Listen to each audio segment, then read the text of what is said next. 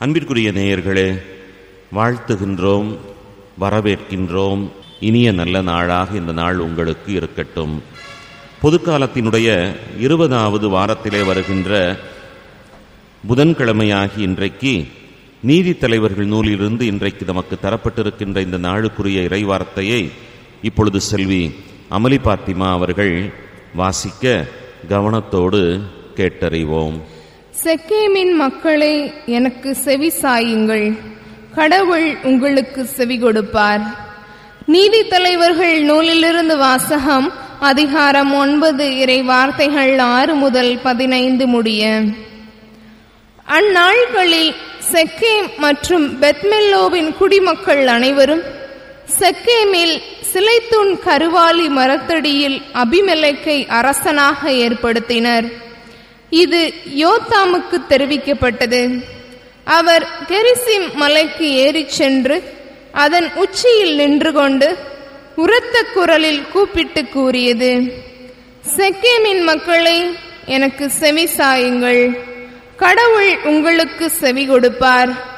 மரங்கள் தங்களுக்கு ஓர் அரசனை திருப்பொழிவு செய்ய புறப்பட்டன. அவை ஒலிவ மரத்திடம் எங்களை அரசாளும் என்று கூறின. ஒலிவ மரம் அவற்றிடம் எனது எண்ணெயால் தெய்வங்களும் மானிடரும் மதிப்பு பெறுகின்றனர். அப்படி இருக்க அதை உற்பத்தி செய்வதை நான் விட்டு கொடுத்து மரங்களுக்கு மேல் அசைந்தாட வருவேனா? என்றது. மரங்கள் அத்தி மரத்திடம் வாரும் எங்களை அரசாளும் என்றன. அத்திமரம் அவற்றிடம் எனது இனிமையையும் நல்ல பழத்தையும் விட்டுவிட்டு மரங்கள் மீது அசைந்தாட வருவேனா என்றது. மரங்கள் திராட்சை கொடியிடம் வாரும் எங்களை அரசாளும் என்றன. திராட்சை கொடி அவற்றிடம் தெய்வங்களையும் மானிடரையும் மகிழ்விக்கும் எனது திராட்சை ரசத்தை விட்டுவிட்டு மரங்கள் மேல் அசைந்தாட வருவேனா என்றது. மரங்கள் எல்லாம் முட்புதரிடம் வாரும் எங்களை அரசாளும் என்றன. முட்புதர் மரங்களிடம் உண்மையில் உங்கள் மீது ஆட்சி செய்ய நீங்கள் என்னை திருப்பொழிவு செய்தால் வாருங்கள். என் நிழலில் அடைக்கலம் புகுங்கள். இல்லையேல் முட்புதரான என்னிடமிருந்து நெருப்பு கிளர்ந்தெழுந்து லெபனோனின் கேதுரு மரங்களை அழித்துவிடும் என்றது. ஆண்டவரின் அருள்வாக்கு. இறைவனுக்கு நன்றி. இந்த நாளுக்குரிய பதிலுரை பாடலானது திருப்பாடல் இருபத்தி ஒன்று நமக்கு தரப்பட்டிருக்கிறது. செல்வி ஜான்சி அவர்களோடு இந்த திருப்பாடலை சொல்லி இறைவனை துதிக்க விழைவோம்.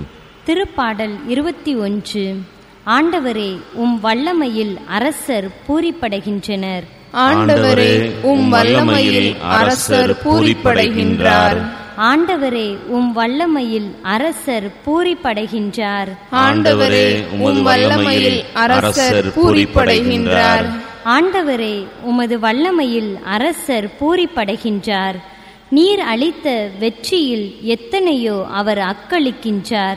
அவர் உள்ளம் விரும்பியதை நீர் அவருக்கு தந்தருளினீர். அவர் வாய்விட்டு கேட்டதை நீர் மறைக்கவில்லை. ஆண்டவரே உம் வல்லமையில் அரசர் பூரிப்படைகின்றார். உண்மையில் நலமிகு கொடைகள் ஏந்தி நீர் அவரை எதிர்கொண்டீர். அவர் தலையில் பசும் பொன்முடி சூட்டினீர். அவர் உம்மிடம் வாழ்வு வேண்டி நின்றார். நீரும் முடிவில்லா நீண்ட ஆயுளை அவருக்கு அளித்தீர். ஆண்டவரே உம் வல்லமையில் அரசர் பூரிப்படைகின்றார். நீர் அவருக்கு வெற்றி அளித்ததால் அவரது மாட்சிமை பெரிதாயிற்று. மேன்மையையும் மாண்பையும் அவருக்கு அருளினீர். உண்மையாகவே எந்நாளும் நிலைத்திருக்கும் ஆசிகளை அவர் பெற்றுள்ளார். உமது முகத்தை அவர் மகிழ்ச்சியுடன் கண்டு களிக்கச் செய்தீர். ஆண்டவரே உம் வல்லமையில் அரசர் பூரிப்படைகின்றார். ஆண்டவரே உம் வல்லமையில் அரசர் பூரிப்படைகின்றார். அல்லே லூயா அல்லே லூயா கடவுளுடைய வார்த்தை உயிருள்ளது ஆற்றல் வாய்ந்தது. உள்ளத்தின் சிந்தனைகளையும் நோக்கங்களையும் சீர்தூக்கி பார்க்கிறது அல்லே லூயா அல்லே லூயா ஆண்டவரை நற்செய்தியை தகுந்த விதத்தில் எடுத்துச் சொல்ல என் உள்ளத்தையும் உதட்டையும் தூய்மையாக்கும். ஆண்டவர் உங்களோடு இருப்பாராக. உம் ஆன்மாவோடும் இருப்பாராக. புனித மத்தையை எழுதிய பரிசுத்த நற்செய்தியிலிருந்து வாசகம். ஆண்டவரே மாட்சி உமக்கே. மத்தைய நற்செய்தி இருபதாவது பிரிவு பிரிவு இருபதிலே முதல் பதினாறு வாக்குகள். அக்காலத்தில் இயேசு கூறியது விண்ணரசை பின்வரும் நிகழ்ச்சிக்கு ஒப்பிடலாம். நிலக்கிழார் ஒருவர் தன் வேலையாட்களை வேலைக்கு அமர்த்த விடியற்காலையிலே வெளியே சென்றார். அவர் நாள் ஒன்றுக்கு ஒரு தெனாரியம் கூலி என வேலையாட்களோடு ஒத்துக்கொண்டு அவர்களை தன்னுடைய திராட்சைத் தோட்டத்திற்கு அனுப்பினார். ஏறக்குறைய காலை ஒன்பது மணிக்கு அவர் வெளியே சென்ற பொழுது சந்தை வெளியிலே வேறு சிலர் வேலையின்றி நிற்பதைக் கண்டார். அவர்களிடம் நீங்களும் என் திராட்சைத் தோட்டத்திற்கு போங்கள் நேர்மையான கூலியை உங்களுக்கு கொடுப்பேன் என்றார். அவர்களும் சென்றார்கள்.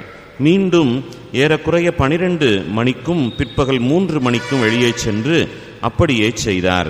ஏறக்குறைய ஐந்து மணிக்கும் வெளியே சென்று வேறு சிலர் நிற்பதைக் கண்டார். அவர்களிடம் நாள் முழுவதும் வேலை செய்யாமல் ஏன் இங்கே நின்று கொண்டிருக்கின்றீர்கள்? என்று கேட்டார். அவர்கள் அவரை பார்த்து எங்களை எவரும் வேலைக்கு அமர்த்தவில்லை என்றார்கள்.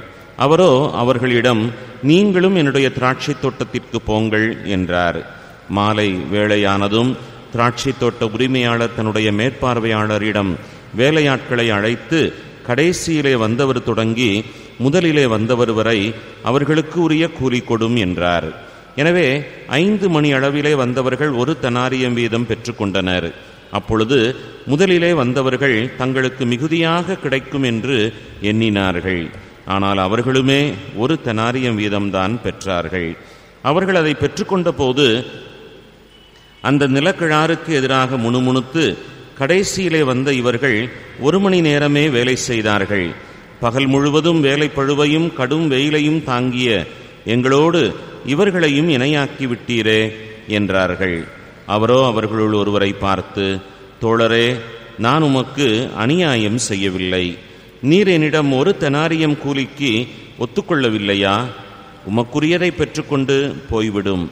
உமக்கு கொடுத்தபடியே கடைசியிலே வந்த இவருக்கும் கொடுப்பது என்பது என் விருப்பம். எனக்குரியதை என் விருப்பப்படி கொடுக்கக்கூடாதா? அல்லது நான் நல்லவனாய் இருப்பதால் உமக்கு பொறாமையா? என்று கேட்டார். இவ்வாறு கடைசியானோர் முதன்மையாவர் முதன்மையானோர் கடைசியாவர்.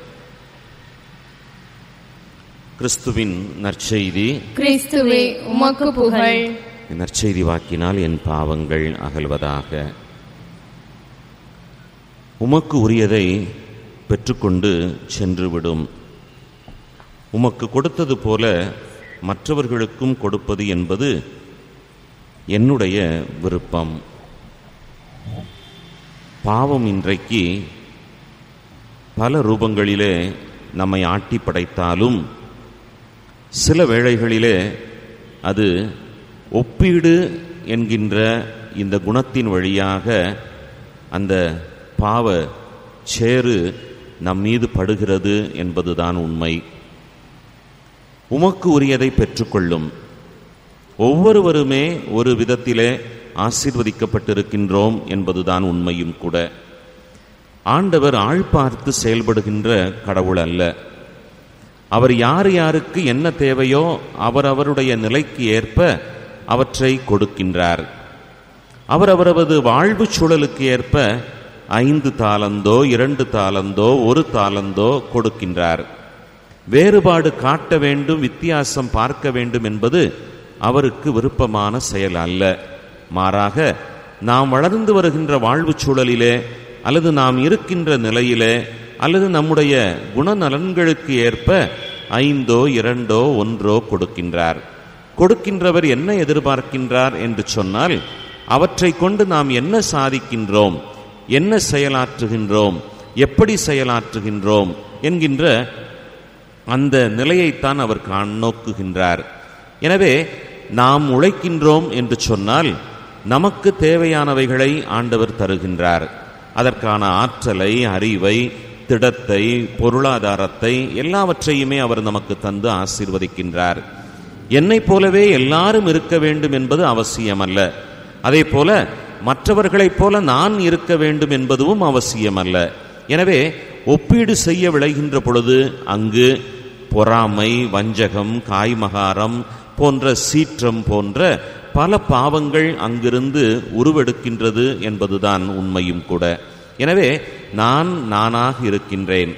என்னை ஆண்டவர் எத்தனையோ விதங்களிலே வளப்படுத்தி இருக்கின்றார் என்று சொல்லி நான் என்ன செய்ய பணிக்கப்பட்டிருக்கின்றேனோ அதை நான் சரியாய் செய்து அவர் எனக்கு தருகின்ற கைமாறு ஒன்றே போதும் என்று சொல்லி அதை நிறைவாய் பெற்று நன்றி கூறுகின்ற நல்ல மனநிலையோடு நாம் பயணிக்க விழைவோமேயானால் எந்த விதமான சூழலிலும் யாரோடும் எதனோடும் நாம் நம்மை ஒப்பிட்டு பார்க்காமல் இறைவன் எனக்கு குடும்பத்தை தந்தார் நல்ல பெற்றோரை தந்தார் நல்ல அறிவை தந்தார் நல்ல ஞானத்தை தந்தார் நல்ல உடன்பிறப்புகளை தந்தார் நல்ல நண்பர்களை தந்தார் நல்ல வாழ்வு சூழலை தந்திருக்கின்றார் அன்றாட உணவை தந்து என்னை ஆசீர்வதிக்கின்றார்.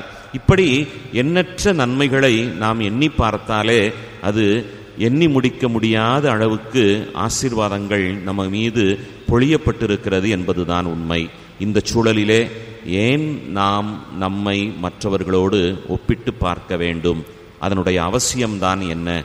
எந்த விதத்திலே அது என்னை வளர்த்தெடுக்கப் போகின்றது என்பதை கேட்டு பார்த்து ஒப்பீடு செய்யாமல் நான் ஆசீர்வதிக்கப்பட்டிருக்கின்றேன் ஆண்டவரால். அந்த ஆண்டவருக்கு என் வாழ்நாள் முழுவதும் நான் நல்லது செய்து அவர் விரும்புகின்ற செயல்களை செய்து நான் இறையாட்சியை எனது மத்தியிலே கட்டி எழுப்புவேன் என்கின்ற அந்த மனநிலையோடு பயணிப்போம் இறையருள் பெறுவோம். எம்மோடு இணைந்திருங்கள் நேயர்களே. நீங்களும் கேளுங்கள் பிறரையும் கேட்கச் செய்யுங்கள். இறைவனை இணைந்தே துதிப்போம். ஆமென்.